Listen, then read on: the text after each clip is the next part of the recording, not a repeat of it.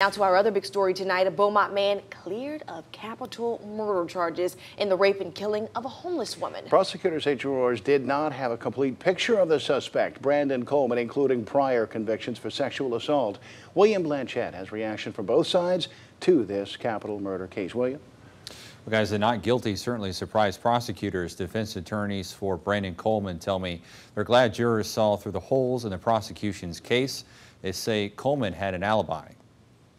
Thursday afternoon into the week and a half long murder trial for a man accused of killing a homeless woman. I have no doubt in my mind that Brandon Coleman killed Catherine Dungan. But jurors didn't buy it. Prosecutor Jimmy Ham says he's disappointed with the jury's decision. He felt Brandon Coleman's DNA found on Catherine Dungan's neck was enough for a guilty verdict. If you choke somebody and you strangle them, you're going to leave behind your DNA, and that was my argument to the jury. Dungan was found dead two years ago with her hands tied behind her back with signs of sexual assault.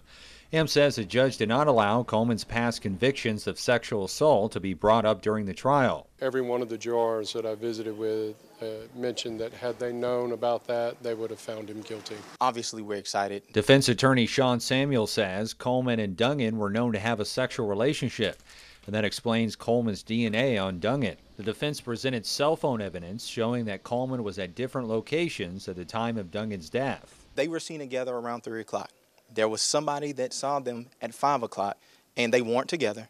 And more importantly, this individual said that Ms. Dungan was alive and well. Samuel says the video from the main entrance of Collier's Ferry Park proved Coleman wasn't involved. The main way in which to get to the park there was video for over two hours. Nowhere was his video, uh, the vehicle seen on that. Uh, I'm um, disappointed that the verdict didn't reflect what I believe is justice in this case.